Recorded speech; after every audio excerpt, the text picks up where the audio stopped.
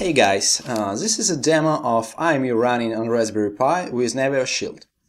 The IMU runs well over 1000 Hz and takes around 20% of the CPU. Rate and load can be observed at the bottom of the screen. Is Raspberry Pi able to perform other tasks with such a fast IMU? Not a problem. Let's compile something in parallel. As you can see, the compilation does not affect the rate, so it is possible to run computation-intensive tasks along with real-time tasks such as an IMU. You can run on even higher rates, but you have to balance between rate and processor load depending on your application. Subscribe to our blog at emlid.com to get more information about the Navio.